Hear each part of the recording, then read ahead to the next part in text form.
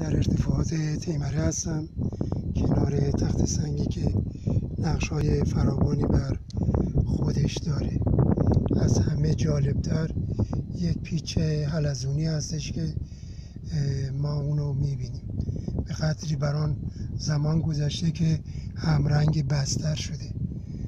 یکی از شگفتی های این نماد آن است که رد پاشو در نقاط مختلف دنیا با همین شباهت و پیام می‌بینیم.